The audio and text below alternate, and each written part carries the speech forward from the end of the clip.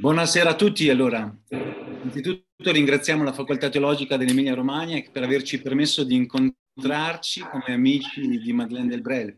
Ci metteremo in ascolto della profondità della profezia di questa donna che, insieme al Cardinale Martini, annoveriamo tra le più grandi mistiche del secolo scorso. E la cui sapienza ci sembra così attuale e conveniente per corrispondere alla chiamata alla santità in questo cambiamento d'epoca che stiamo vivendo. E sono con noi alcuni amici che nel loro cammino di vita, di conversione, di apostolato, hanno incontrato Madeleine e hanno tratto nutrimento e orientamento per la loro fede, la loro speranza e carità. Salutiamo anzitutto Sua Eminenza il Cardinale Zuppi, Don Matteo per tanti di noi, che tra le altre cose ci ha onorato anche della sua prefazione all'ultimo volume in italiano dell'opera Omnia di Madeleine, La santità della gente comune, edita da Gribaudi. Insieme a lui c'è anche il per Gilles François, prete della diocesi di Créteil in Francia, storico, postulatore della causa di Madeleine e curatore dell'opera Omnia, autore anche di questa ricchissima biografia accuratissima, pubblicata in italiano dall'EDB con il titolo Madeleine del Brel, biografia di una mistica tra poesia e impegno sociale. Poi abbiamo Don Luciano Luppi, parroco dell'Arcidiocesi di Bologna, docente all'After, la cui passione e conoscenza della figura di Madeleine è nota all'universo mondo, quindi non ha bisogno di presentazioni.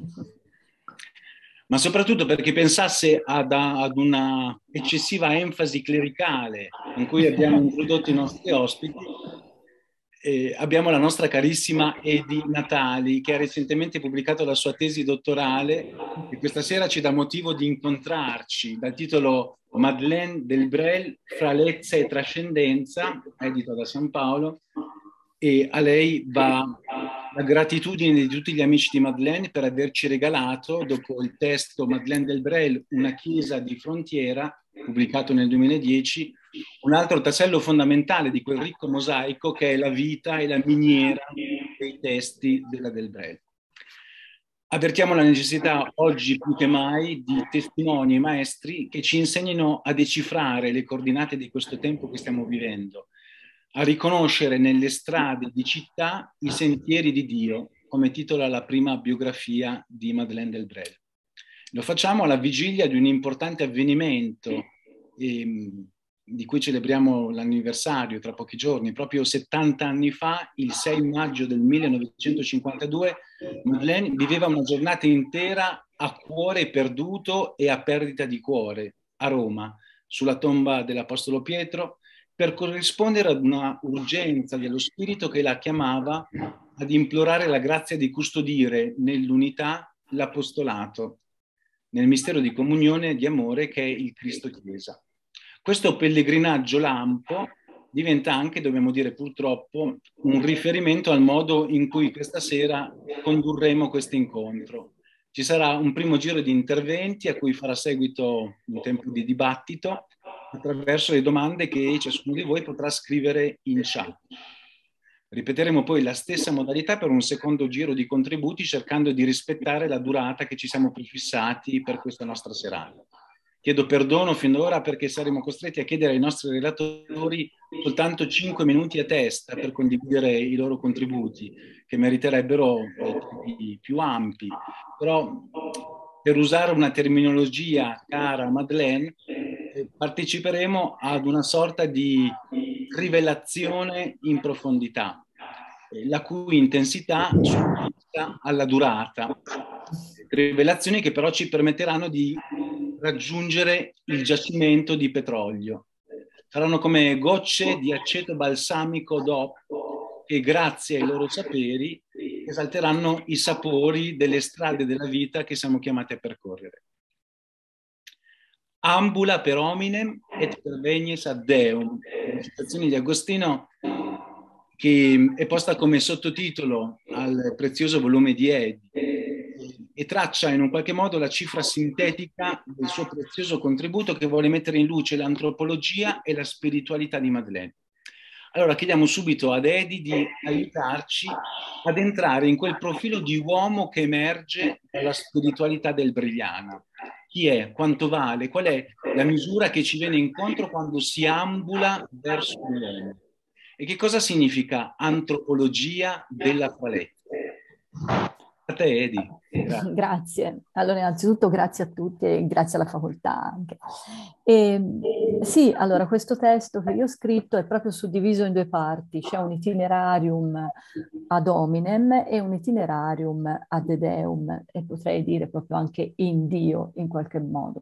La prima parte, questo itinerario verso l'uomo, ha una marcatura antropologica, cioè lei, Madeleine Delbrel, come si muove verso l'uomo. Ora, noi sappiamo che lei non ha scritto testi sistematici, quindi io sono andata un po' alla ricerca nei frammenti di quella che poteva essere la sua visione dell'uomo, che cosa dice anche oggi la sua visione dell'uomo. Ecco, io ho scoperto questa, eh, che ho chiamato così, antropologia della fralezza. Eh, che cos'è ecco, questa fralezza, questa fragilità?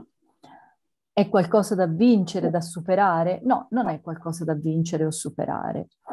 La fragilità è qualcosa di costitutivo eh, dell'uomo. È proprio perché l'uomo è creatura che l'uomo è fralezza. Questo ce lo insegna lo stesso Gesù Cristo nell'inno ai Filippesi, quando lui dice che appunto non ritenne tesoro geloso e la sua uguaglianza con Dio, ma si spogliò di se stesso, si svuotò. Quello che noi chiamiamo il processo della kenosis. Questo annientamento, questo svuotamento, che poi in fondo è la debolezza, è la, è la fralezza. E che cosa ci manda a dire allora Madeleine del Brel?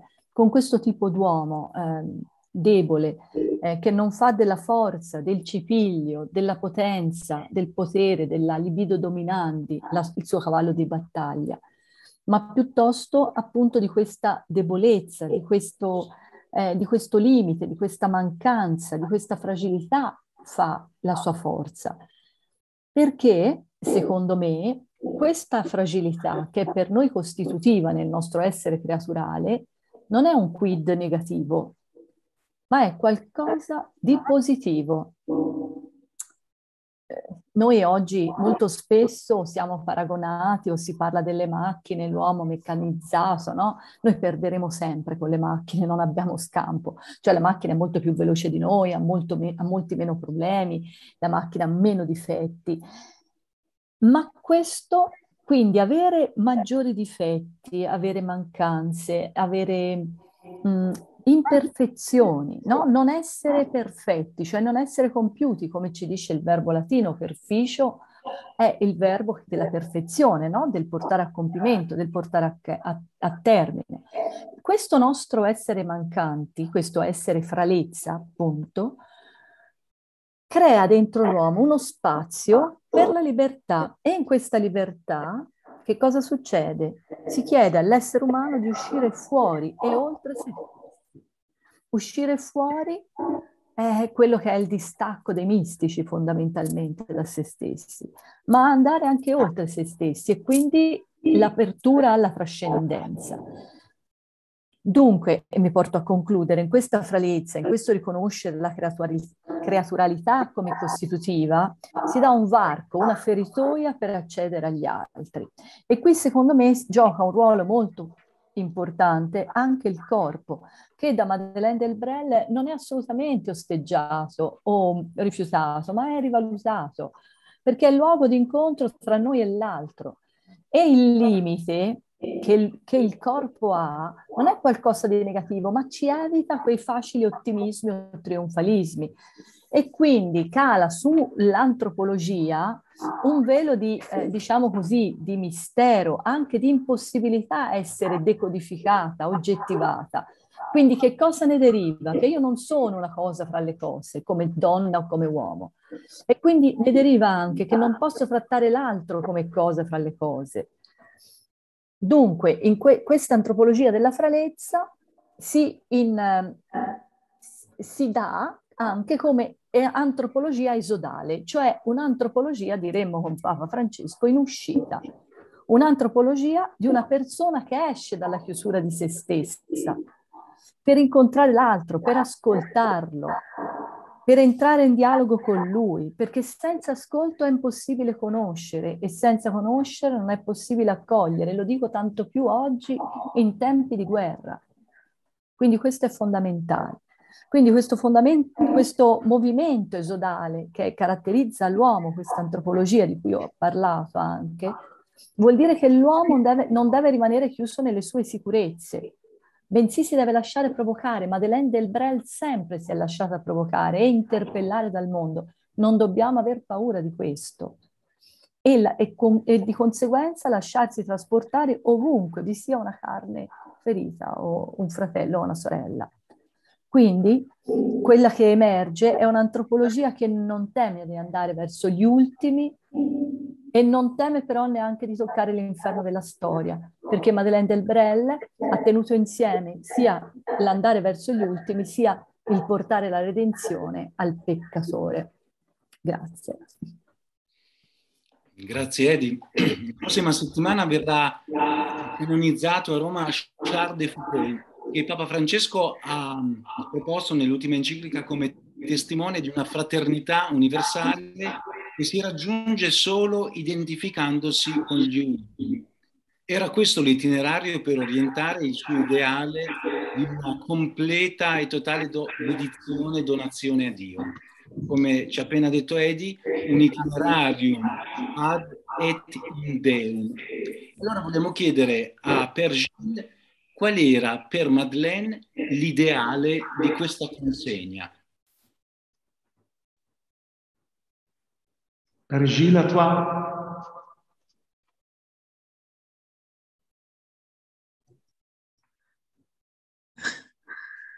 Hey. Hey. Hola. Bonjour. Buongiorno. Euh, Madeleine Delbrel, euh, quel message pour l'Église aujourd'hui? Lorsque nous prenons conscience que Dieu est Père et que nous sommes ses fils, la joie nous envahit. Mais euh, nous ne mesurons pas tout de suite combien cela bouleverse notre rapport au monde. Dire en vérité notre Père nous plonge davantage dans la communauté de destin de tous les hommes où se cherche et se construit une vie plus fraternelle. Ce savoir fils fille de Dieu, cela transforme profondément.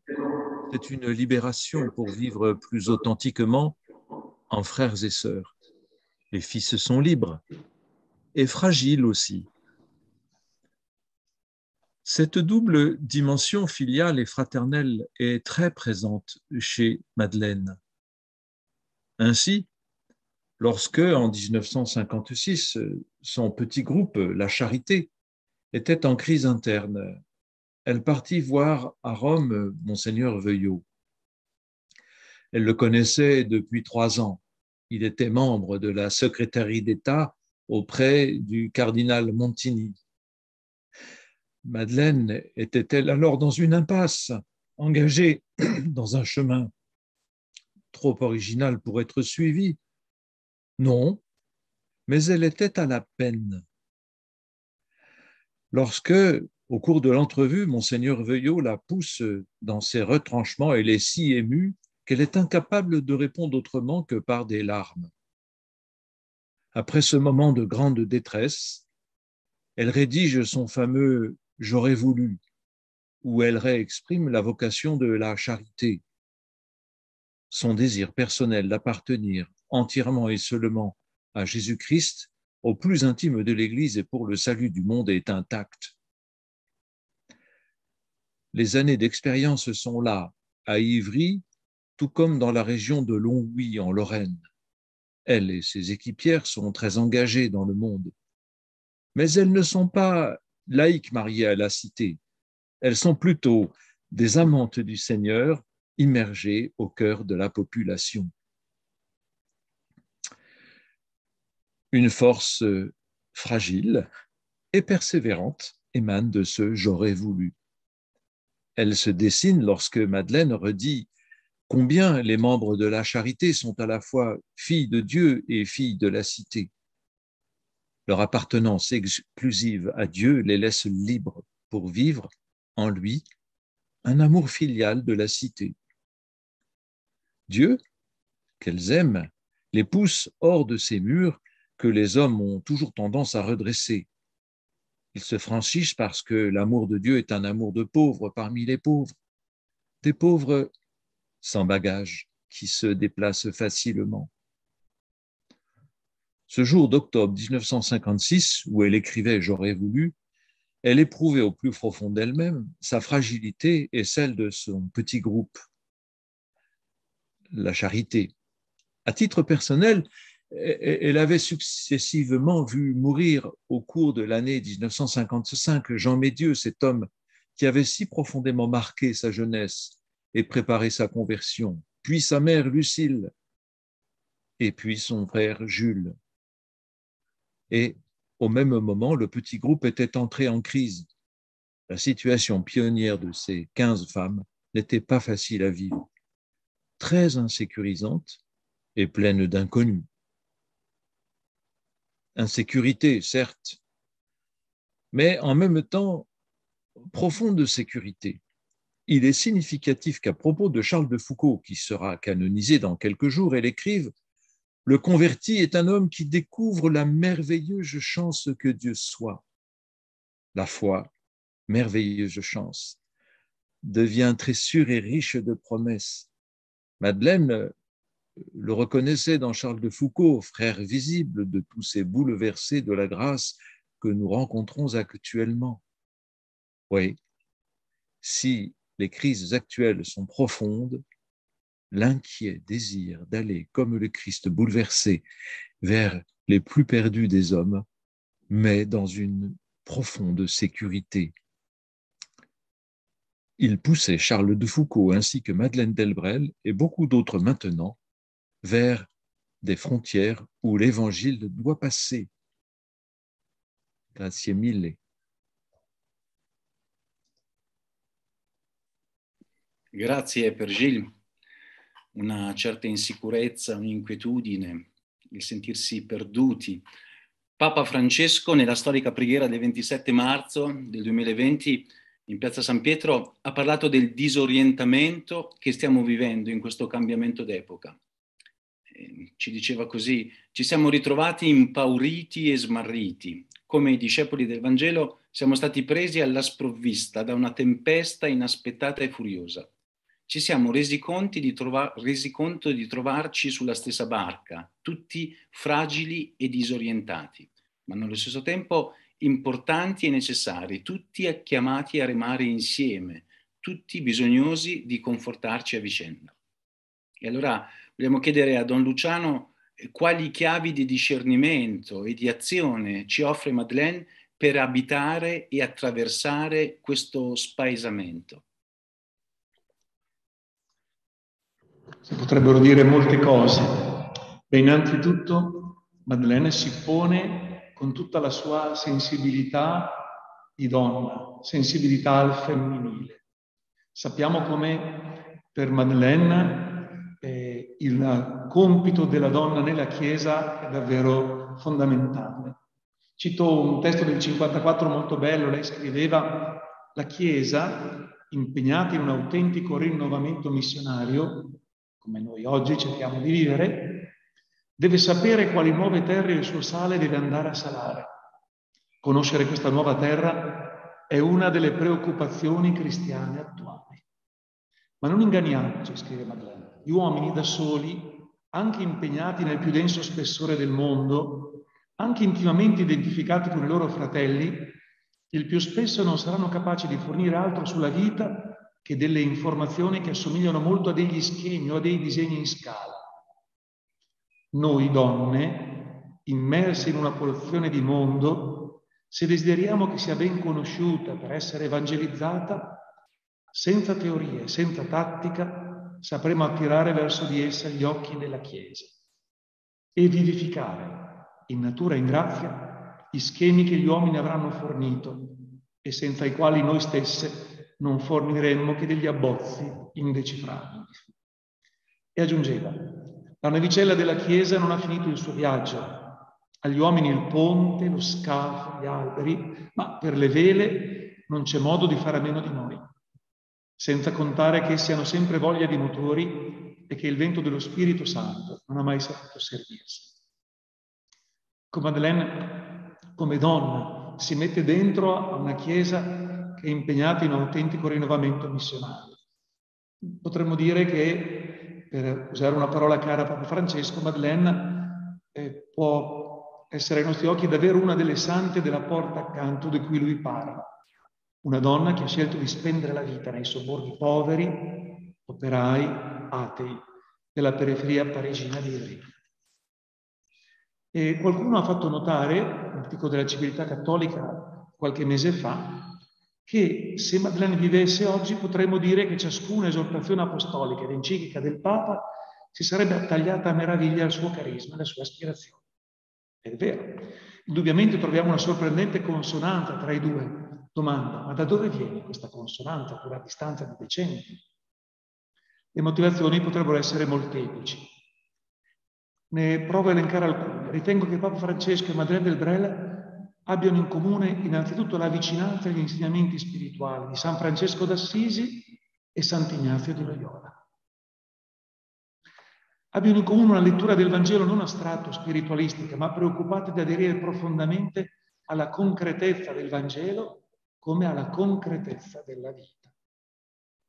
Hanno in comune la volontà di lasciarsi interpellare dal dolore dei poveri. Adrien dice che il dolore dei poveri è la forza universale maggiormente compromessa col mistero, scegliendo di condividerne da fratelli la marginalità e la piccolezza. La viva coscienza del Vangelo come di una notizia sorprendente e decisiva di cui il cristiano non può non sentirsi in debito verso tutti. E poi hanno in comune la certezza che non c'è nessun rinnovamento della Chiesa che non passi attraverso una riscoperta della dimensione missionaria della vita di ogni cristiano e di ogni comunità. Ecco, si tratta di vivere dunque questo cambiamento d'epoca che può produrre, come abbiamo ascoltato prima, Don Alessandro ci ricordava il testo di Papa Francesco, il 27 marzo del 2020, come un fatto che produce smarrimento, spaesamento. Ma Maddalena scriveva che uno spaesamento psicologico e le scoperte che le accompagnano sono indispensabili per liberarci, lei dice, dalle bucce di cipolla, cioè dalle cose che ci impediscono di accedere al cuore della realtà. Ed è lo spaesamento, una condizione indispensabile per divenire una reazione viva di Vangelo. Senza uno spaesamento radicale, dice Madeleine, è ben difficile diventare un Vangelo vivente, un Vangelo incarnato per l'oggi. Ecco, Madeleine è convinta che se Gesù è dappertutto che attende e in noi è Lui che cammina, ogni momento va vissuto nella luce dell'incontro iniziale con Lui, quello della conversione, quello della fede, sempre incompiuto, sempre pronto a lasciarsi arricchire e modificare da ogni incontro, perché tutti gli esseri che incontriamo hanno qualcosa da donarci e ciascuno di loro ha qualcosa da ricevere da noi. Allora anche gli spaesamenti più radicali non fanno paura perché il cristiano, secondo Madeleine, ha il suo baricentro in un'intimità itinerante con Gesù che è la via. Grazie, Don Luciano. Ecco, Don Matteo, chiediamo a lei allora eh, quale messaggio d'attualità ha, contiene questa via, questa strada di Madeleine per la Chiesa oggi, per la Chiesa di oggi.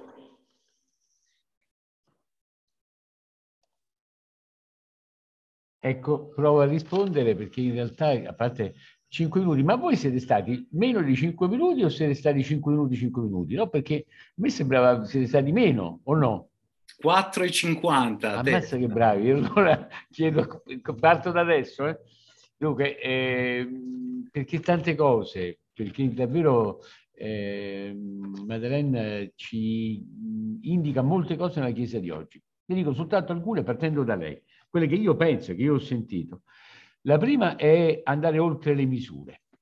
Una Chiesa piena di misure, attenta alle misure, che ha paura di, quel, di quei folli eh, eh, che vanno oltre le misure, che cercano il gioco di scacchi dove tutto è calcolato, eh, un teorema rompicapo e invece si ritrovano a fare una festa e, e, e proprio perché vanno oltre le misure. Eh, chiamati ad andare ad una misericordia rivoluzionaria e non ad un'organizzazione di servizi, viene dopo. Eh, molte volte la mia impressione è che la Chiesa oggi ama molto i programmi e tanti fastidi per in fondo una, una dimensione eh, missionaria che è spirituale soprattutto, che capisci eh, non in una logica dei programmi, altrimenti ti sembra di, di essere mandato allo sbaraglio, ti sembra di, di, che, che una richiesta eccessiva, no? eh, ti chiede per cui cerchiamo di capire bene tutto quello che dobbiamo fare, no? eh, e quindi qual, tante volte tante resistenze, eh, tante incomprensioni, eh, in fondo eh, voler ridurre, conoscere la missione prima di uscire, no? Ecco, mi sembra che eh, Madeleine Delbrel ci aiuta tantissimo ad andare oltre, ad andare eh, nel, per, per le strade e lì a trovare la risposta. È la vita semplicemente, la vita che scorre nella quale andiamo se le nostre ancore sono levate. E da te siamo chiamati ad andare leggeri, senza possessi, con una fede nuda ed essenziale. La vita è fatta per esplodere, per farsi dono. Quando la si conserva per sé, la si soffoca. Ho l'impressione che qualche volta, come dire, l'idea di eh, certe eh, eh, eh, eh l'idea di ridurre tutto a un programma eh, è un modo poi appunto per, per, vivere meno questa dimensione della vita, per questa dimensione di camminare insieme. La seconda, l'urgenza della Chiesa, l'urgenza della Chiesa. Eh, una, la sofferenza atroce con la quale ci eh, dobbiamo eh, misurare e questa sofferenza è degli altri, non nostra, leggo, perché è lei... Eh, per il fatto di essere nella Chiesa, siamo gente pressata in lei, pressata come lei, come lei a causa del mondo. Noi siamo in uno stato di urgenza. Tutto ciò che facesse di noi, dei pensatori, degli amanti dell'introspezione, dei problematizzatori cronici, ci distoglierebbe da questa urgenza ed è ciò che temo per noi. Al contrario, camminando si può pensare, raccogliersi e riflettere. E poi c'è anche una bottarella contro gli psicologismi e siccome a mio parere eh, la, vera, eh, la vera introspezione è esattamente fare questo e qualche volta, diciamo così, amiamo eh, piuttosto appunto eh, ehm, eh, essere dei problematizzatori cronici e vivere meno l'urgenza, ma l'urgenza non è che la diciamo noi, l'urgenza c'è, caspita se non c'è, la vediamo drammatica, tragica, le pandemie oggi ce lo ricordano in, in, maniera, in maniera, impressionante. E poi l'ultima cosa è la gioia, eh? contagiosi di gioia. Eh, sì, eh, credo che in lei c'è questa dimensione molto che poi diventava, mi sembra, anche un po' l'umorismo, un po' l'ironia, eh, che ci fa un gran bene, che, che, che, è proprio uno spillo che sgonfia eh, tante, appunto, tante, eh, tante compia- tanti compiacimenti soggettivi, invece la gioia. Eh, la gioia di quel fuoco acceso, eh, eh, correre il mondo in noi, eh, eh, per le vie della città, fiancheggiamo le onde della folla, contagiosi di beatitudine e contagiosi di gioia. Ecco, a me, tra le tante cose, che quella mistica di un realismo molto più eh, capace di, di, entrare nella storia eh, di tanti problematizzatori eh, cronici, credo che è oggi proprio quello di cui la Chiesa ha tanto bisogno. Eh, molta gioia e meno giudizi. Ottimo, grazie. Allora ci regaliamo adesso un tempo di, di dibattito, di confronto e se volete potete scrivere le vostre domande e le vostre riflessioni anche in chat. Lo facciamo con una certa leggerezza, però cercando di cogliere quei temi urgenti ed emergenti eh, che ci suggeriva anche Don Matteo in questo momento, evitando di essere dei problematizzatori cronici anche nelle domande, eh, però portando ecco, quella, l'attenzione su, quelle, mm, su quel magis di, di, saggezza evangelica, di sapienza che Madeleine ci insegna con la sua vita e con i suoi scritti. Ecco, quindi se volete potete già eh, iniziare a scrivere, e forse non siamo in un numero esagerato, quindi volendo potrebbe esserci anche la possibilità di intervenire direttamente, come preferite. Sfruttiamo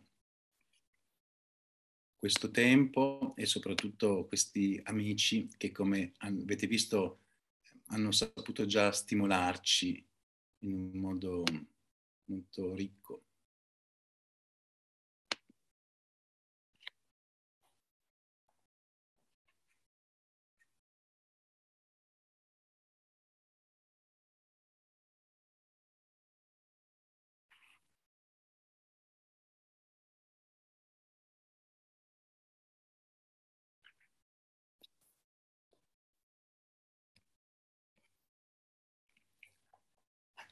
Simone ad esempio scrive, si potrebbe dire che il convertito è colui che crede non solo che Dio esista, ma che Dio lo ami e che ciascuno di noi è in vita in virtù di un desiderio che lo precede? Grazie. Prima domanda di Simona, anche rispetto all'identità eh, di questo uomo, un po' come Edi suggeriva, una antropologia che si apre alla trascendenza, questa fragilità visitata e trasfigurata. Edi, vuoi rispondere tu a questa domanda? Ripeto la, l'interrogativo. Si potrebbe dire sì. che il convertito è colui che sì, crede non vedo, sì, sì. esista, mm. ma che Dio lo ami e che ciascuno di noi è in, in vita in virtù di un desiderio che lo precede? Ma allora io mh, direi sì, che è vero questo che dice Simona, cioè che ehm, il convertito è colui che crede non solo che Dio esiste, ma che lo ami. Perché secondo me eh, colui che si converte, la conversione non è soltanto un'adesione eh, sulla, che si basa soltanto intellettuale, per cui io eh, credo, penso che esista, ma ehm, è qualcosa di esistenziale, secondo me, per cui è vero che io ne sento l'amore, devo sentire l'amore di Dio nella conversione. Questo, per esempio, Madeleine del Bel, secondo me, l'ha, l'ha fatto proprio capire. Cioè, perché non è soltanto, no, se no si rischia che la conversione diventi un'adesione intellettuale o, qua, o, quasi soltanto intellettuale, mentre è un'adesione esistenziale, per cui se ne sente anche l'amore e che ciascuno di noi è in virtù di un desiderio, sì, penso di sì, perché se Dio è uno e trino, eh, questo amore pericoretico fra di loro, di danza fra il Padre, il Figlio e lo Spirito Santo, credo sia proprio questo, che ha fatto scaturire questo, che ci sia un desiderio no? da parte di Dio d'averci, perché se no non ci avrebbe creato. Quindi se, non so se ho capito bene la domanda, ma credo che proprio noi sì, eh, siamo figli di un desiderio di Dio desiderio, che si è esplicato nella creazione. Questo desiderio, questa sovrabbondanza di amore, no? perché il desiderio è anche sovrabbondanza d'amore in qualche modo. Non so se poi lei, amici, eh, se vogliono rispondere o se hanno capito qualcos'altro. Simona sembra soddisfatta e ha ringraziato. Io ti ringrazio anche per eh, Ehm, la ricchezza di, di, citazioni, di contributi anche ehm, del, del, magistero filosofico e soprattutto del Novecento, penso a alcune citazioni di Marcel ehm, che ci hai regalato, eh, che vanno proprio in questa mm, lunghezza d'onda, mm? ci parlano del desiderio, ma anche di questa, eh, di questo, di questa erranza, eh? di questa itineranza che proprio di fatto è il cammino dell'amore anche.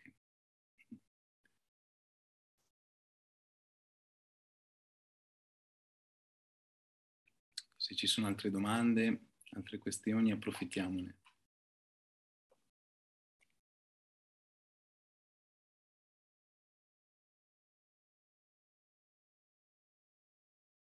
In chat, tra l'altro, ehm, in modo molto opportuno è stato indicato l'indirizzo mail ehm, della, del gruppo di amici di Madeleine Del Brel in Italia, madeleinedelbrel.it del Brel, madeleindelbrel.it chiocciola gmail.com. Quindi anche per eh, ulteriori successivi approfondimenti o richieste, eh, informazioni, potete scrivere a questo indirizzo e noi vi risponderemo. Alessandro, possiamo girare la domanda anche a Padre Gilles Et voilà.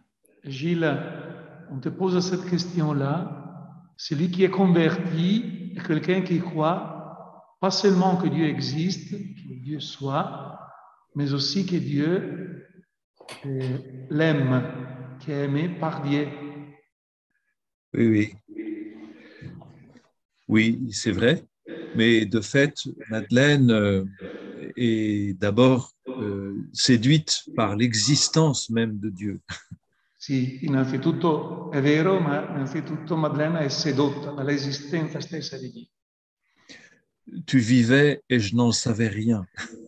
È scritto tu vivevi Dio e io non ne sapevo niente.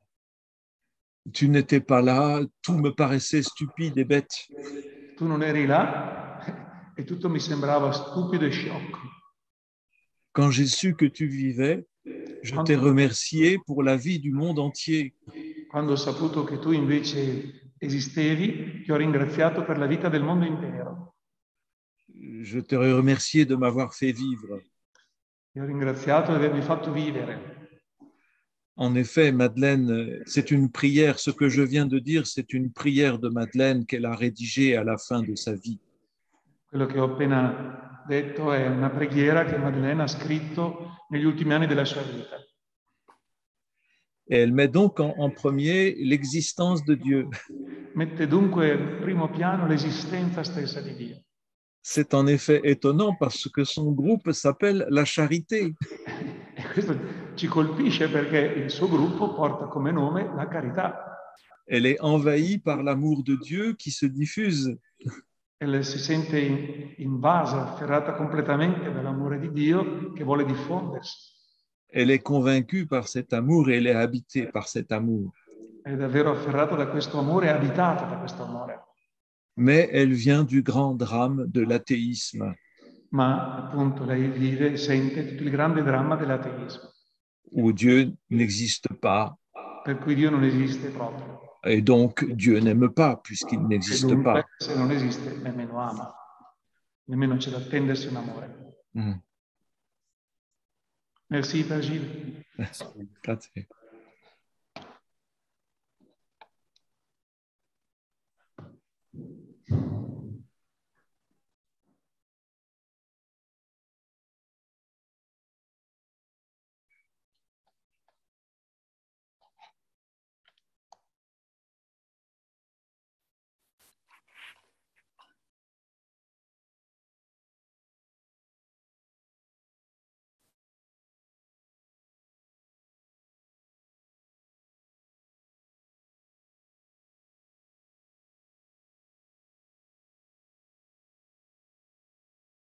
Ecco, intanto mentre aspettiamo ehm, richieste di informazioni, domande, contributi di vario genere, possiamo dare l'avvio a un secondo giro di contributi che renderanno ancora più ricco eh, il tavolo di questa nostra condivisione.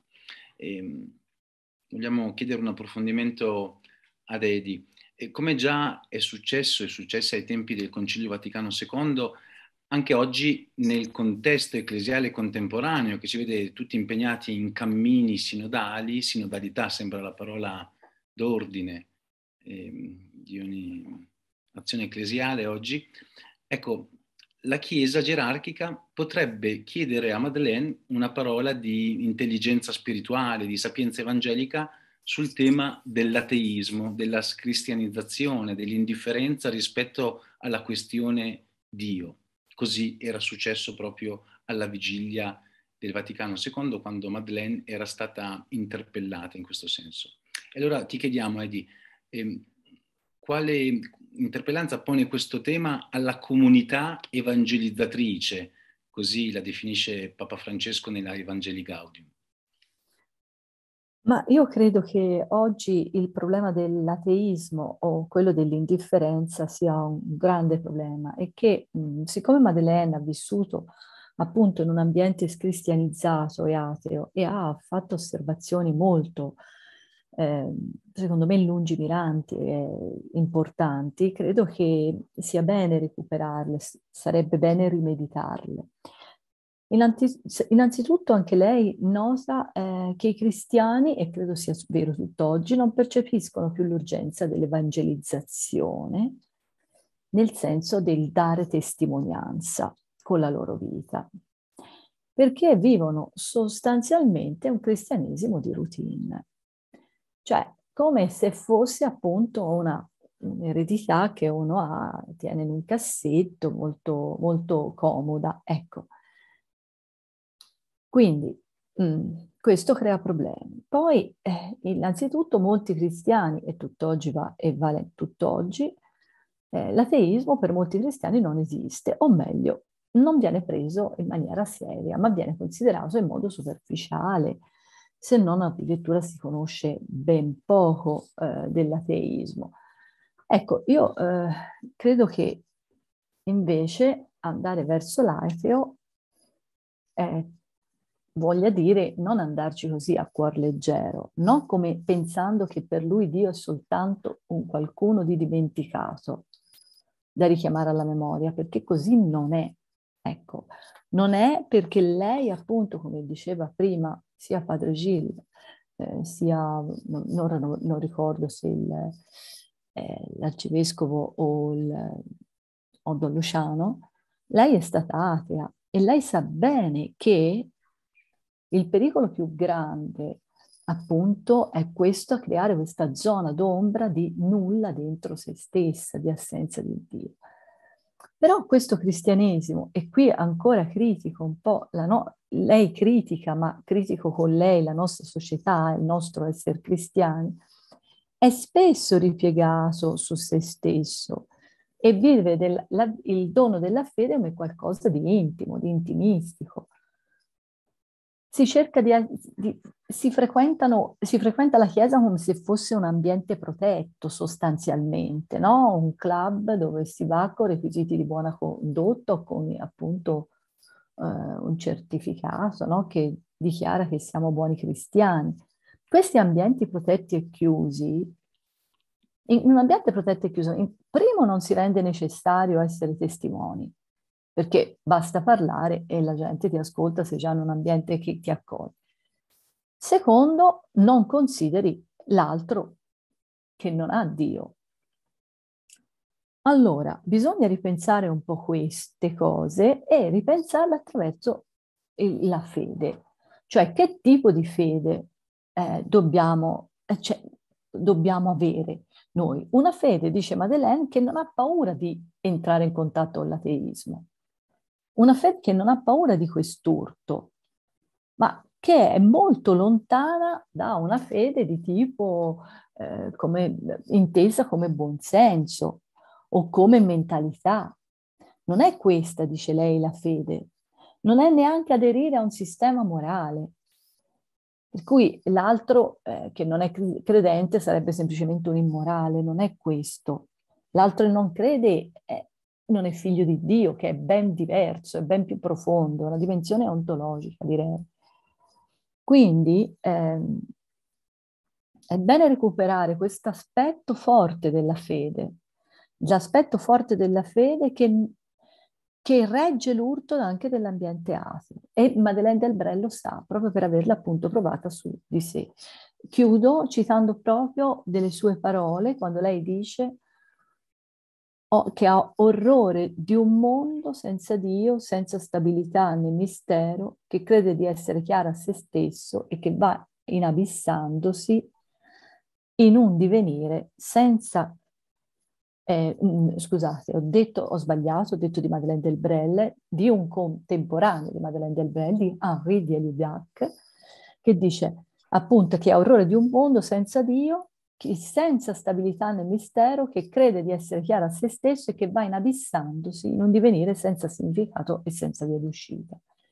Quindi Dio, ci dice Madeleine Delbrel, non è un'idea da difendere, non è un qualcosa di scontato, ma è questo novum per eccellenza, che scardina ogni visione rassicurante e conservatrice, ma diventa un pungolo, un pungolo per appunto per andare avanti. Si parla di cammino sinodale. Certo, è un pungolo per non stare seduti. E questo annuncio del Cristo eh, ci chiama a essere posti provvidenzialmente in un crocicchio di vie e lì dare testimonianza e dare ciò che abbiamo ricevuto. E questi verbi, trasmettere ciò che si riceve, sono verbi tecnici del Vangelo. Quindi l'importanza di essere presenti, presenti, proprio la sua è una spiritualità anche incarnata. Grazie. Grazie Edi. Ha ragione il cardinale, comunque rimani sempre sotto i cinque minuti, per cui dopo mm, ti costringeremo a rispondere ad altre domande.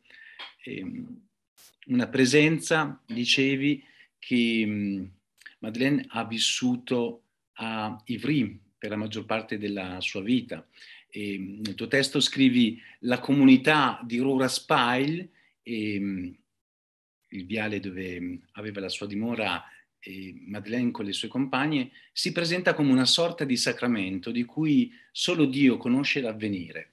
Non è dato conoscere quali rami dell'albero chiesa saranno destinati a germogliare e quali a seccare e a cadere per nutrire le radici dell'albero stesso.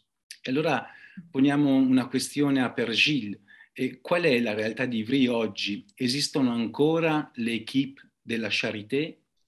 E chiediamo a lui perché è responsabile anche di un percorso di discernimento per la vita consacrata secondo lo spirito di Madeleine Delbrel. Grazie, Padre Gilles. Eh, euh, la, la, Charité avait été fondée euh, en 1930 Euh, par Madeleine Delbrel. Et il y eut une équipe euh, à Amiens, euh, au nord de Paris, jusqu'en 2013. Après 83 ans de continuité, ce chemin de vie consacré, ouvert par elle, s'est-il interrompu? Le 8 février 2018 lors du décès de Suzanne Perrin. Un peu plus tôt, le père Bernard Pitot m'avait fait rencontrer le père Jacques Duplessis de la Mission de France, qui était demandeur d'un tel chemin. En y associant Anne-Marie Viry, nous avons bâti ensemble un parcours de discernement, de vie consacrée dans l'esprit de Madeleine Delbrel. Celui-ci débuta en décembre 2017, donc peu de temps avant le décès de Suzanne, mais aussi alors que le pape reconnaissait l'héroïcité des vertus de Madeleine le 26 janvier 2018 et qu'un accord était trouvé pour la réouverture au public de la maison du 11 rue Raspail à Ivry. Nous avions été marqués par la proximité de ces dates. Était-ce un flambeau qui se transmettait? Il serait tentant de le dire, mais je crois d'abord qu'il s'agit d'un service du discernement des vocations environ 35 euh, personnes ont vécu ou bien sont en train de vivre le parcours. Parmi elles, plusieurs orientations se dessinent et s'affermissent. Le célèbre missionnaire sans bateau qui qu'écrivit Madeleine en 1943 montre ce qui se passe actuellement. Dans son troisième chapitre, Les deux appels, Madeleine euh, met à égalité vocationnelle ceux de la maison et ceux des routes. Aux uns d'être là où le Seigneur les a posés, aux autres de suivre le Christ sans amarre qui leur dit Viens et suis-moi. Nous voyons ainsi que la sainteté des gens ordinaires qu'explore Madeleine concerne chacun. Ceux des maisons comme ceux des routes ont authentiquement à être à leur vocation, telle que le Seigneur les appelle. Un parcours de discernement semblable vient de débuter chez vous en Italie, qu'il est beau de voir combien de personnes sont nourries et encouragées par la vie et les écrits de Madeleine. Cet ensemble-là est porteur dans un monde fait de maisons et de routes. Le regroupement d'une dizaine de femmes laïques, attirées par le Christ sans amarre, y prend un relief singulier au cœur de l'Église à cause du signe qu'elle donne, modeste et précis. Quelques mots enfin pour vous apporter deux nouvelles. Euh, Monseigneur Dominique Blanchet, évêque de Créteil, avait demandé, peu d'un temps après son arrivée en février 2021, une réécriture plus simple et facile à mémoriser de la prière pour la béatification. C'est chose faite. Elle sera imprimée dans quelques jours. Volume 1, 1915-1949 de la correspondance de Madeleine Delbrel est lui déjà imprimé. Il sera diffusé à partir de cette semaine. La correspondance annotée a permis de rassembler de nombreux renseignements qui aident à suivre Madeleine dans son quotidien au long des années. Le volume 2, 1950-1956, est prévu pour l'automne. Il y aura en tout cinq volumes. Grazie mille. Grazie Padre Gilles anche per queste belle notizie, per queste belle novità che ci attendono. E all'11 di Rura Spile eh, nel soggiorno c'è questo mm, grande tavolo su cui Madeleine scriveva tanta parte della corrispondenza, eh, delle sue opere, dei suoi scritti. E, mm, e c'era questa, mm, c'è ancora questa cartina eh, del mondo, questa mappa, che eh, ci dice come quel luogo particolare eh, fosse pieno di un afflato, di un orizzonte universale. Allora, eh, sul nostro oggi, nella nostra contemporaneità, incombe la drammatica situazione della guerra in Ucraina. Ostinatamente Papa Francesco ci invita a non arrenderci alla logica della violenza, ma a promuovere ogni laboratorio di dialogo e di riconciliazione in cui cercare insieme la pace. E allora vogliamo chiedere a Don Luciano eh, come è possibile dialogare a cuore aperto con gli altri. Che cosa farebbe oggi Madeleine in questo contesto? Ecco, mi sembra bello eh, rileggere insieme a lei qualche passo di, una, di un articolo che lei aveva scritto nel 1959 un articolo che era un invito alla cittadinanza di Ivry-sur-Seine, dove lei viveva, da questa cittadina operaia sud di Parigi, periferia sud di Parigi, e un articolo apparso sul settimanale locale del Partito Comunista, in cui Madeleine invitava a partecipare a una riunione sulla pace in Algeria. Infatti in quegli anni, siamo nel 59, era in corso una guerra violenta tra le forze coloniali francesi e i gruppi armati che lottavano per l'indipendenza in quel paese nordafricano, che non solo causò tanti morti civili e militari, eh, dal 54 al 62, su una popolazione di 10 milioni di persone, riguardo ai caduti civili, si stima che tra 300.000 e un milione di algerini siano stati uccisi. Ci siano stati quasi 500.000 vittime tra i soldati algerini e francesi e gli altri che parteciparono a questa lotta. Ma non solo la guerra causò tanti morti civili e militari, ma la guerra era colpita al cuore l'Europa stessa, che riteneva che le guerre fossero ormai un retaggio del passato, che non ci riguardassero più. Nel suo articolo Madeleine espone le ragioni per cui ha preparato l'incontro in programma insieme ad altri e invita a partecipare. Lei dice ragioni personali ma talmente semplici che sono sicura di condividerle con molti e con grande chiarezza esprime l'esigenza di fare cose, di riflettere insieme sull'argomento, di aiutarsi ad affrontare il problema della guerra e della pace in Algeria, uscendo dalle logiche strumentali e dalle interpretazioni ideologiche e puramente politiche, ma soprattutto Madeleine sente che questo incontro è importante per aiutarsi a non cadere nel pericolo più grande, l'indifferenza. Scrive così. quando dei fatti, anche se avvengono lontano da noi, mettono dei paesi a ferro e fuoco, creano sventure, uccidono persone, possiamo avere su questi fatti delle opinioni differenti, ma non abbiamo il diritto di non avere un parere. La più grande complice di tutte le sventure è l'indifferenza. La riunione del sette e quelle che l'hanno preceduta vogliono lottare contro l'indifferenza. E aggiunge, io a quell'incontro ci vado per non addormentarmi sulla sventura del vicino, per impedire agli altri di dormire come dormirei io. Ci vado perché vi ritrovo della gente che non la pensa come me, non solo sulle misure da prendere in Algeria, ma su molti altri problemi. È per provare che il mio desiderio di pace non è un idealismo, che se voglio la pace dappertutto, vi credo in primo luogo nel comune in cui vivo. Non possiamo lavorare alla pace sull'altra sponda del Mediterraneo e portare avanti la nostra piccola guerra con la gente della nostra strada. Ci vado, aggiunge Madeleine, perché non credo ad alcuna politica se questa politica non è radicata nella coscienza delle persone. Temo tanto le dittature quanto la guerra, perché le une non vanno senza l'altra. Ma so che il cammino più sicuro per condurre un popolo alla dittatura è quello di lasciare che le persone di questo popolo perdano coscienza.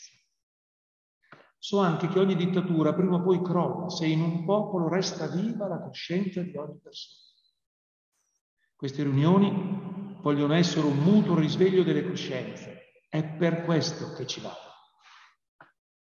Madeleine non si nasconde la complessità della situazione dunque e lei, che ha conosciuto la lotta per la liberazione contro i nazisti in Francia, pur partecipandovi solo sul versante allora dei servizi sociali, sa bene che talvolta le scelte da compiere possono essere dolorose, ma aggiunge vanno pagate di persona. Scrive. Dico solo che non voglio la guerra né per il mio paese né per gli altri. So che può succedere che si debba scegliere tra due guerre, che si debba scegliere la guerra piuttosto che una sventura che potrebbe essere ancora più grande. Non so se l'avvenire mi metterà di fronte a una scelta del genere, ma so che quel giorno rischierò non solo la vita degli altri, ma anche la mia. Certo, per Madeleine la pace deve essere l'orizzonte ultimo, ma afferma, credere alla pace è credere alla pace per tutti e non alla propria personale tranquillità. È credere alla pace facendovi credere. La pace non può esistere se non vi si crede. Dunque, per Madeleine occorre credere alla pace. La pace richiede cioè una, promessa, una premessa di fiducia, che non è utopia, non è coltivazione di un irenismo ingenuo e illusorio, perché, scrive Madeleine, è quando si crede che essa esiste che se ne trovano i mezzi. Per captare le forze della pace bisogna essere sicuri che esse sono in noi, attorno a noi, fra di noi. Dunque, la riunione a cui Madeleine invita a partecipare non dovrà essere semplicemente un incontro sulla pace, una pura rassegna delle opinioni sulla guerra in corso, in cui ciascuno cercherà di ribadire e difendere il proprio punto di vista ma una vera esperienza di pace, cioè un laboratorio in cui uomini di buona volontà cercano insieme le forze della pace e si impegnano a volerla dappertutto, cominciando con lasciare scuotere la propria coscienza, perché in essa possa radicarsi un'autentica volontà di pace. E conclude il suo articolo così, Madeleine. Vado a questa riunione come a un laboratorio in cui degli uomini di buona volontà cercano insieme le forze della pace. Bisogna aiutarsi gli uni gli altri per non confondere le forze della pace e le forze della guerra, per non lasciarsi trascinare a voler fare la pace facendo la guerra. Ve lo dico con tutta semplicità. Ogni volta che voglio lavorare alla pace, che sia la grande o la piccola, quella di casa mia, della mia famiglia, dei miei amici, mi rendo conto a un certo punto che sto per partire in guerra contro qualcuno, Tizio Caio, l'uno o l'altro, il nord o il sud, l'est o l'ovest. E come si è facilmente indifferenti verso tutto ciò che non ci tocca personalmente, mi sorprendo a non dare lo stesso valore alle vite umane a seconda che la guerra ne faccia strage vicino o lontano. Il fatto, conclude Madeleine, è che il nostro cuore si rinchiude su di sé, si ripiega su di sé, ritrova come una brutta piega, una vecchia abitudine di guerra, parlare a cuore aperto con altri e andare contro questa brutta piega, questa vecchia abitudine e costruire la pace là dove essa comincia e là dove essa termina, nella volontà di ciascuno. Grazie Don Luciano, sappiamo che sei particolarmente legato a questo testo, forse sarebbe bello anche che tu ci dicessi il motivo, la genesi storica. Ma nel senso che quando facevo ricerche sui testi di Madeleine, questo testo non era stato scoperto e lo trovai proprio nella settimanale eh, di Ivry. E fu una scoperta bella da condividere, una grande gioia, mi sembra proprio un testo che conserva una straordinaria attualità. E penso che tanti ci chiederanno di eh, poterlo rendere disponibile anche nei modi in cui potremo. E noi non sappiamo se Don Matteo verrà eh, eletto presidente della CEI.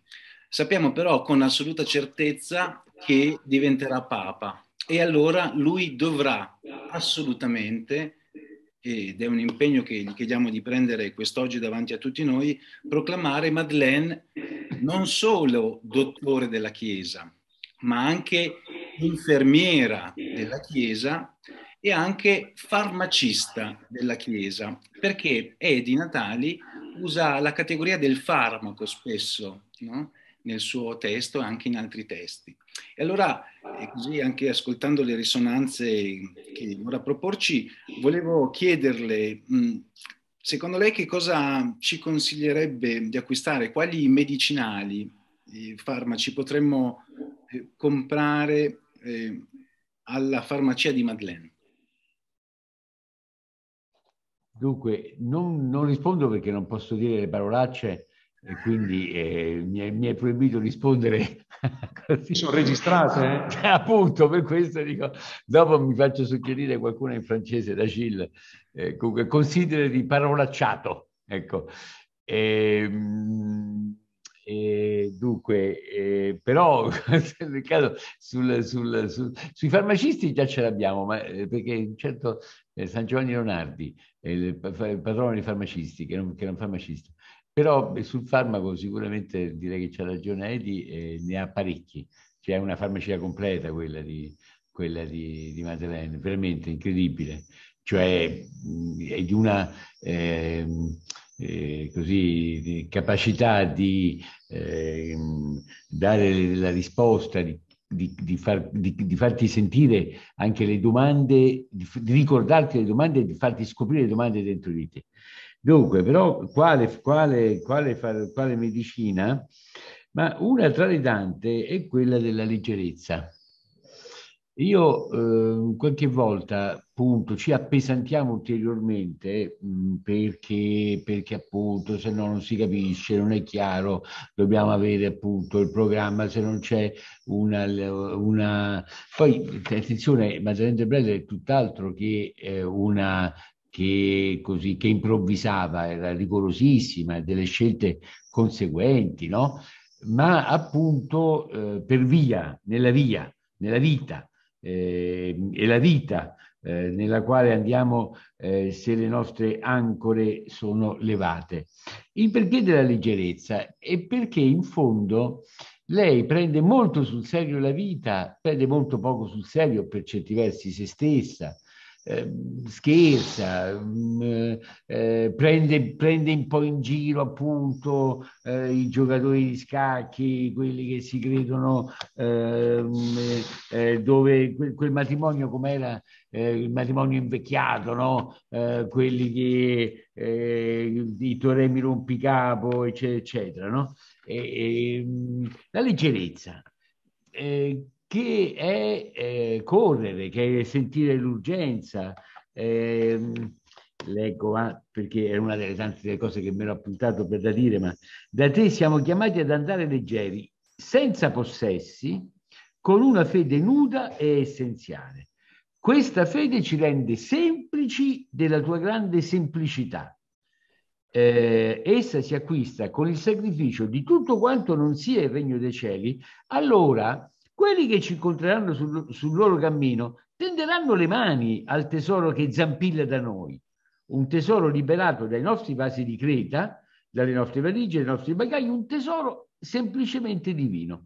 Allora saremo agili e diventeremo a nostra volta delle parabole che donano a tutti la perla preziosa. Ah, caspita, ecco, di fronte a eh, qualche volta così la tentazione della complessità, un po' forse perché ci prendiamo molto sul serio, troppo sul serio, eh, un po' perché eh, c'era prima tutta la riflessione sul, sull'incontro con il mondo, diciamo, eh, scristianizzato, no? Eh, noi parliamo adesso della fine della cristianità e a mio parere qua dentro abbiamo ancora tutta la toponomastica della cristianità, cioè dobbiamo aggiornare il, il, il, la nostra toponomastica perché ancora proprio siamo, eh, abbiamo quella vecchia.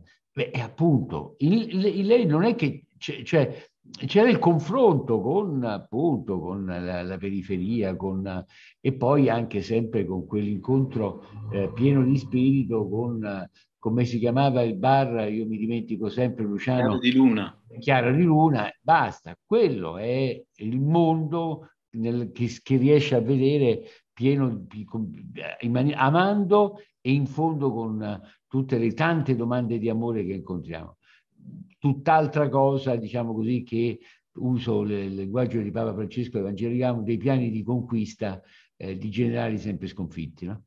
Per cui direi in questo senso, diciamo così, una leggerezza che, che ci fa trovare l'essenziale, no? che è perdere tutto quanto quello, come eh, nel, nel, nel, nelle parole che abbiamo ascoltato prima, che non sia del regno dei cieli, e quindi anche con quell'essenzialità che permette eh, di, di, saper, di essere a proprio agio ovunque, ma non ad adattarsi a tutto, ma anzi con una fede che comunica luce, che comunica appunto eh, quella, quel tesoro che zampilla in noi liberato dai nostri vasi di creta. Sì, ecco, quindi la leggerezza. Grazie, grazie mille. Don Intanto Don Marco aveva scritto una domanda che adesso rilanciamo, sono parole forti e belle quelle pronunciate da Madeleine, ma come concretamente noi possiamo aiutare gli spaesati a sentirsi pure loro amati, sedotti da Dio? Questa è la prima domanda di Don Marco, mentre Simona rilancia con un'associazione di idee che gli è venuta in mente attraverso un libro che è La mistica della carne del filosofo france, scrittore francese Ajage, se anche per Madeleine si può dire qualcosa del genere, superando il dualismo platonico. Ecco, Edi ne parla spesso del valore del corpo e della carne, anche in questa fragilità, in questa fralezza che, che costituisce la base di questa antropologia che si apre alla trascendenza. Vedi che recupero i quattro minuti, esatto. quindi l'altro minuto. Ma allora, eh, sì, eh, chiaramente non, c'è una, una, specie di sotterraneo dualismo che ha attraversato il cristianesimo, eh, dove, si, dove c'è questa dicotomia fra anima e corpo e che ha attraversato un po' secoli da Platone, ma poi Cartesio e andando su attraverso la filosofia, ma proprio ha aderito anche un po' il cristianesimo. Certo mai quello ufficiale, però dobbiamo dire che evangelicamente parlando, e Madeleine è molto attenta al Vangelo, dobbiamo dire che non esiste questa dicotomia. Io, eh, come diceva Don Alessandro, sempre, anche in questo libro ho parlato di spiritualità incarnata, cioè non esiste una spiritualità che non sia incarnata eh, e non esiste, da, io da credente dico, un, un, corpo che non sia spirituale anche, no? Quindi eh, il corpo è il tempio dello spirito in qualche modo. Per cui questo secondo me è un farmaco in qualche modo, è un rimedio a uh, atteggiamenti eccessivamente spiritualisti che vengono, eh, dove si vivono eh, a livello emotivo, no? che, che, si vedono eh, quasi sull'onda dell'emozione, e che non è eh, la spiritualità cristiana, secondo me, o l'altro, l'altro verso, cioè l'altro canto, che è quello di una, valorizza- una ipervalorizzazione del corpo, diciamo, ma più che valorizzazione è sbagliato il termine, cioè un, un tener conto troppo del corpo come se quello fosse il centro, quindi si cade in un materialismo, cioè perché poi alla fine il corpo diventa una cosa fra le altre. Prima Don Alessandro diceva che io ho fatto un po' riscoprire, volevo far accennare perché il clima in cui vive lei è un clima anche da un punto di vista filosofico incredibilmente splendido, cioè fertile proprio. Sì, per esempio Marcelle fa un'osservazione molto importante quando lui parla del concetto dell'avere, che non lo vede solo come possesso, perché io posso dire che ho questi occhiali, questo è, vuol dire possedere questo. Ma il concetto di avere è anche io ho questo naso, che è un concetto ben diverso. Per cui lui dice, per esempio, in relazione al corpo, bisogna rivalutare questo concetto dell'avere perché eh, esso non ci dà una disponibilità. Io non posso fare il corpo ciò che voglio. Ecco, questo perché ovviamente anche Marcello è un convertito, è un credente, ma perché eh, il corpo è anche spirito e qualunque azione noi facciamo appunto è l'incarnazione di questo. Poi vorrei dire solo una parola e poi taccio eh, al sacerdote, come si fa? Eh, credo con quello che, che veniva da dire anche prima, con la testimonianza. Noi non abbiamo una, una fede troppo di routine, noi viviamo un cristianesimo troppo di routine troppo seduto. Noi abbiamo troppo timore ad andare fuori. Noi non dobbiamo avere questo timore. Io vivo anche in ambienti, non essendo appunto clero, clero no? come diceva Don Alessandro, vivo anche in ambienti diversi da quelli che sono la Chiesa e non dobbiamo temere. La nostra fede ci deve accompagnare, anzi è proprio fatta per stare anche in questi ambienti. Si durerà fatica, ma è fatta per stare in ambienti dove manca la fede e bisogna starci, cioè la presenza è qualcosa mi verrebbe da dirti.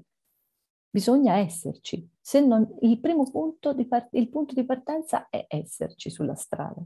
Per questo la categoria della strada è fondamentale, perché una categoria della strada è, è un luogo di incontro, ma è un luogo di... ci si incontra come nella parabola eh, del buon samaritano, perché si sta facendo lo stesso percorso e per caso, per provvidenza, ci si incrocia. E lì bisogna stare attenti, lì si deve guardare e fermarsi, cioè diventare responsabili dell'altro. E l'altra categoria fondamentale sarebbe la cura.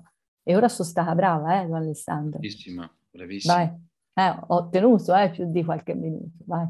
Anche perché ci hai ricordato appunto che il Samaritano si dice nel Vangelo di Luca che era in viaggio, era un uomo viator, un po' questo, questo essere pellegrini, eh, questo essere viaggiatori in questa erranza che tu hai così ben descritta nel tuo libro. Ecco, chiediamo a Don Luciano se può tradurre al, um, per Gilles domande, oppure se anche lui personalmente vuole rispondere a queste domande. Question. Comment aider ceux qui sont dépaysés, déconcertés, désorientés aujourd'hui à faire l'expérience de l'amour de Dieu uh, d'être séduit par Dieu. Qu'est-ce que Madeleine nous dirait à ces propos?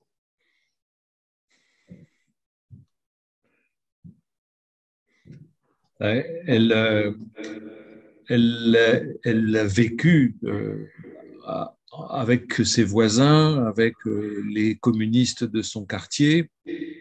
Madeleine a vissuto con le persone vicine, con i comunisti del suo quartiere elle avait euh, un grand dépouillement d'elle-même. con un atteggiamento di chi si sentiva completamente spogliata di se stessa, non preoccupata per se stessa. Elle était euh, libre. Era libera. Euh, oui. Et très décentrée de ses problèmes. Elle, même quand elle avait beaucoup de difficultés, elle n'était pas prise par elle-même. È molto decentrata da se stessa, anche quando viveva momenti difficili, con molti problemi, non era eh, ripiegata su se stessa, sui suoi problemi. Uh, on pouvait sentir uh, auprès uh, qu'elle était tournée vers Dieu. Si poteva percepire che era tutta rivolta verso Dio. Elle, était, elle aimait Dieu et, et, et, Dieu aime le monde et donc elle avait cet amour communicatif. Amava Dio e Dio ama il mondo e quindi aveva questo amore diffusivo che si comunicava. Ce sont des choses très simples de la vie de tous les jours. Nelle cose semplici della vita quotidiana. Euh, chacun pouvait voir qu'elle était tournée vers Dieu. Ciascuno poteva percepire che era veramente rivolta verso Dio. Et qu'elle était vraiment totalement libre pour aimer les gens qui étaient là. E totalmente libera per amare le persone che incontrava. Grazie. Grazie. Alessandro, se, se posso aggiungere una cosa, posso? Perché un po' questa sottolineatura anche di, del vescovo, arcivescovo, no? della leggerezza della, eh, di Madeleine, eh, che appunto eh, ci metteva in guardia a diventare dei pensatori, degli amanti dell'introspezione, problematizzatori cronici che ci distolgono dalla, dalla vita e questa leggerezza che ci spinge ad andare con questa fiducia nella, nella grazia del Signore, nel suo spirito, incontro alla vita, incontro alle persone. Ecco, mi sembrava proprio utile ricordare una cosa. Ecco, Madeleine sentiva che era, se c'era mai stata nel passato era finita l'epoca delle ricette, cioè delle risposte prefabbricate, eh, sia quelle diciamo che riciclano eh, ciò che si faceva nel passato, sia quelle che di volta in volta assolutizzano le mode del presente. Ecco, veramente aprirsi alla grazia camminando. E mi sembra che appunto così lei ci insegna uno stile eh, inconfondibile, uno stile, lo stile paradossale della vita cristiana che è inconfondibile. Provo a dire qualche tratto, cioè eh, ci insegna a tenere insieme l'assoluto di Dio, ma proprio l'assoluto di Dio, e la prossimità più amorevole e fraterna verso chiunque, verso ogni persona. A tenere insieme il senso acuto del Vangelo come qualcosa di letteralmente inaudito, si è mai sentito una cosa del genere, e l'ascolto sincero delle provocazioni del proprio tempo e delle persone che incontrate. A tenere insieme un amore per la Chiesa incondizionato, ma realistico e senza mistificazione, fatto di un'obbedienza che, come scrive lei, accetta il rischio della sottomissione, ma inseparabile da una corresponsabilità intraprendente e coraggiosa. A tenere insieme la cura della competenza professionale, Madeleine aveva veramente un'allergia verso il dilettantismo, cioè fare le cose così, alla viva il parroco, potremmo dire noi all'italiana, no? Cioè dilettantismo, no, no, la competenza professionale, e lei aveva vissuto da assistente sociale momenti drammatici della guerra, e insieme l'immersione teologale nella certezza che Dio agisce potentemente nella storia, la forza della preghiera. Tenere insieme la ricerca audace di sentieri nuovi per l'evangelizzazione e un tenace radicamento nella concreta vita ecclesiale. Più si va a largo, più si deve andare in profondità per me. E poi, ecco, come ci ha ripetuto più volte l'arcivescovo Matteo, tenere insieme l'umorismo di chi non si prende sul serio, ma prende sul serio Dio e il suo amore senza misura, senza le nostre misure. Ecco, mi sembra davvero uno stile paradossale inconfondibile, ma anche affascinante, di sconvolgente attualità.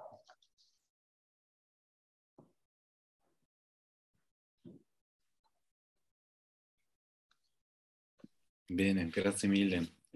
Grazie a tutti. Penso che Adesso per rispettare un po' il termine, la durata dell'incontro che ci eravamo dati, eh, potremmo pregare insieme il testo, il nuovo testo della preghiera, per chiedere